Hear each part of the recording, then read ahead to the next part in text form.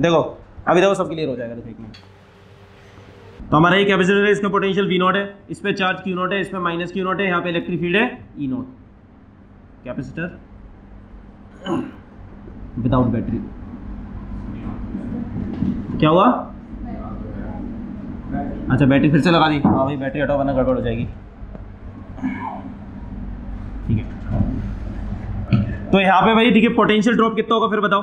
Initially potential drop क्या होगा यहाँ से यहाँ तक? इनिशियल चार्ज क्यू नोट था, इसका कैपेसिटेंस सी है। तो क्या आ जाएगा? क्यू नोट बाय सी ठीक है। सी नोट बिल्कुल सही बात है। सी नोट लो इसको सी नोट आ जाएगा। और ई नोट कितना आ जाएगा हमारा? Q naught by A epsilon naught ये भी आ गया हमारा। ठीक है। चलो, अब हमने क्या करा इसके बीच में भाई? इसके बीच में हम डायलैक्ट्रिक प्लेट डाल दो। और डायलैक्ट्रिक प्लेट का डायलैक्ट्रिक कांस्टेंट है के अच्छा चार्ज इस पर अभी भी कितना रहेगा? देखो, एक चीज़ है, जब बैटरी को तुमने कनेक्ट नहीं करा है, जब बैटरी सॉरी जब बैटरी को कनेक्ट नहीं करा है मतलब जो हमारी कैपेसिटर प्लेट है, वो आइसोलेटेड है तो उसका चार्ज कहीं जा नहीं सकता, आ नहीं सकता। तो अगर इनिशियली क्यू नोट चार्ज था तो फाइनली भी इसमें कितना चार्ज आएगा Q naught minus Q naught. मतलब जो चार्ज होगा, इस केस में चार्ज चेंज नहीं करेगा जब कैपेसिटर प्ले जब कैपेसिटर बैटरी से कनेक्टेड नहीं है। तो चार्ज हमारा सेम रहेगा, ये क्लियर है? और पहले पहले इलेक्ट्रिक फ़ील्ड अगर ई नॉट थी तो अब इलेक्ट्रिक फ़ील्ड कितनी हो गई है net E naught by K net electric field ये हो गई ई नॉट बाय के ठीक है तो नई इलेक्ट्रिक फ़ील्ड हमारी आ गई ई नॉट बाय के तो अब इसके अक्रॉस पोटेंशियल ड्रॉप क्या होगा, हम वो निकालने की कोशिश करते हैं ना।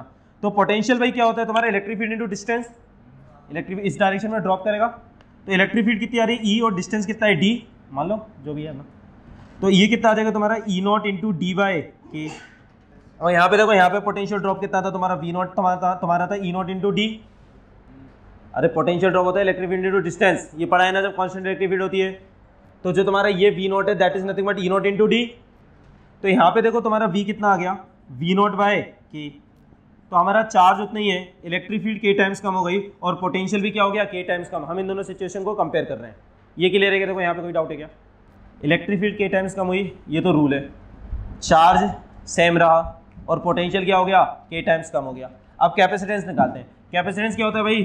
चार्ज बाई पोटेंशियल नया चार्ज क्या है? पुराने चार्ज के बराबर है। और नया पोटेंशियल क्या है? पुराना पोटेंशियल डिवाइडेड बाई के और Q naught by V naught क्या है तुम्हारा?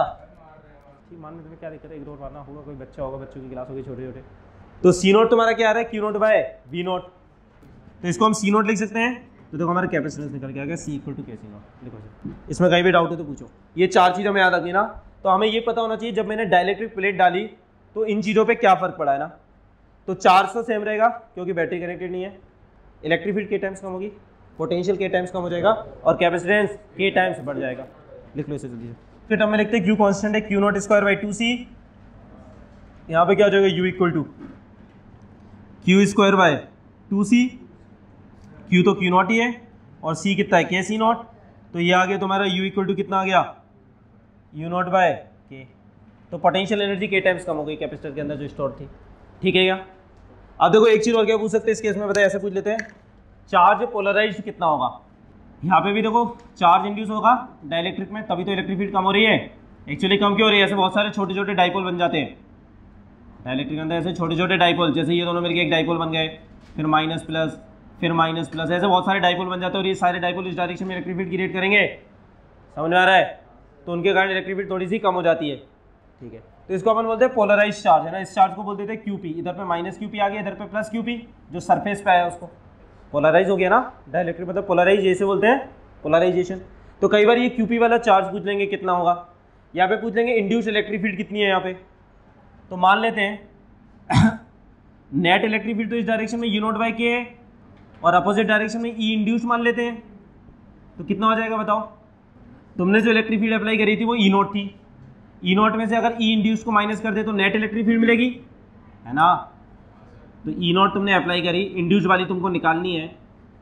और नेट इलेक्ट्रिक फ़ील्ड कितनी आई? ई नोट बाय के तो ई इंड्यूस कितना है तुम्हारा? E naught into one minus one by K ये कौन सी इलेक्ट्रिक फ़ील्ड है? जो पोलराइज चार्ज के कारण आई है है ना? अगर कंडक्टर होता तो चार्ज शिफ्ट कर जाते और ई इंड्यूस ई नोट के बराबर हो जाता और नेट इलेक्ट्रिक फ़ील्ड ज़ीरो हो जाती। पर इसमें चार्जेस शिफ्ट नहीं कर सकते, पर पोलराइज तो अभी भी हुए तो इनके पोलराइज होने के कारण एक अपोजिट डायरेक्शन में इलेक्ट्रिक फ़ील्ड आ गई, जिसके कारण नेट इलेक्ट्रिक फ़ील्ड के टाइम्स कम हो गई। समझ में आ गया कम क्यों होती है? तो इससे हम इंड्यूस इलेक्ट्रिक फ़ील्ड बता सकते हैं क्या? लिखो इसे। अच्छा पोलराइज चार्ज पूछ लेंगे कई बार कि भाई जो सरफेस पे जो चार्ज इंड्यूस हो रहा है डायलेक्ट्रिक वो कितना होगा बताओ? उसको कैसे निकालें फिर? तो देखो, हमारी जो नेट इलेक्ट्रिक फ़ील्ड होती थी, जब यहाँ पे कुछ भी नहीं है, वो कितनी आती थी? Q naught by A F naught, है ना? अब जो नेट इलेक्ट्रिक फ़ील्ड है तुम्हारी, वो तुम्हारी क्या है ई नोट बाई के और सोचो, वो किस चार्ज के कारण है? उसके हिसाब से तो उसे इधर कितना चार्ज दिखेगा? देखो Q naught minus Q P charge दिखेगा उसे तो। समझ रहे हो ना? क्योंकि सरफेस बिल्कुल उससे टच ही कर रहा है ऑलमोस्ट उसके पास ही है। तो उसके हिसाब से कितना चार्ज आएगा? Q naught minus Q P by A F naught naught देखो, ये वाला फॉर्मूला लगाया Q naught by F naught वाला फॉर्मूला लगा दिया मैंने। तो देखो, इससे क्या आ गया तुम्हारा? हमें क्यू पी निकालना था ना? ई e नोट को क्या लिख सकते हो तुम? देखो यहाँ पे। ई नोट को क्या रख दोगे यहाँ से? यहाँ से रख दो यहाँ पे। Q naught by K A F naught equal to Q naught minus Q P by A F naught तो ए एफ़ नॉट से ए एफ़ नॉट नॉट गया। क्यू पी कितना आ गया बताओ तुम्हारा? Polarise charge Q naught into one minus one by K तो ये पोलराइज चार्ज है और ये पोलराइज चार्ज के कारण इलेक्ट्रिक फ़ील्ड जो इंड्यूस इलेक्ट्रिक फ़ील्ड आई। दोनों निकाल दिए हमने।